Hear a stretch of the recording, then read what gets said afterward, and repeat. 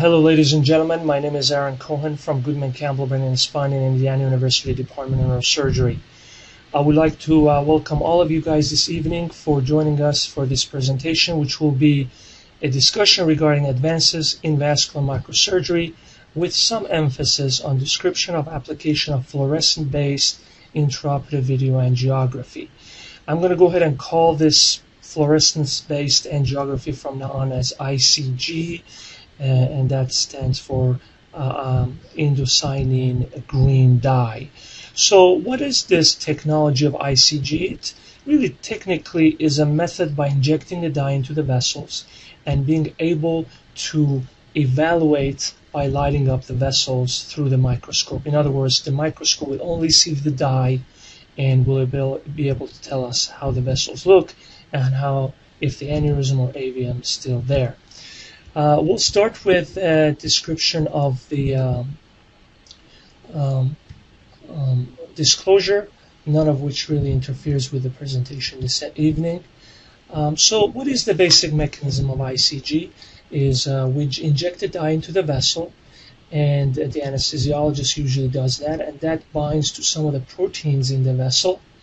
And eventually, as the blood reaches in the brain or the area of the uh, surgery, the light from the microscope causes a special camera to only see the vessels and that's really an intraoperative angiogram through the microscope, only lighting up the vessels and nothing else.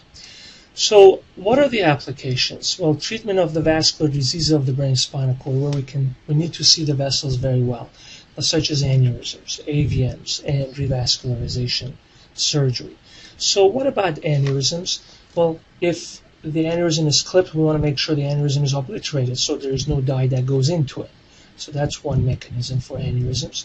The other one is we want to make sure the clip doesn't cause any parent vessel compromise. So by doing the intraoperative angiography, you can assure that the vessel or the parent vessel is patent. And we're going to go through some of the additional applications of ICG, and that includes assurance of a retrograde collaterals if you're doing trapping of the segment of the vessel that is involved with the aneurysm. And also you can push the limits of ICG and assess the degree of flow as you will see in some of the videos momentarily. So how about the AVMs? It's very simple. If you inject the dye and you don't see the dye around the resection cavity, the AVM is gone. And that's a good application for ICG in terms of AVMs. How about bypass? If you see good dye going through around through the vessels and the bypass graft, that means your graft is patent and it's immediate. It can give you really uh, immediate feedback without waiting for an intraoperative angiography. So what are the advantages? Again, there is no interruption of surgical workflow because you're using your own microscope to assess the vessels and do an angiogram. And uh, there is an immediate correction of, of suboptimal clip, clip result because you can see right away if the clip is um, compromising the parent vessel and potentially that could decrease the risk of postoperative ischemia.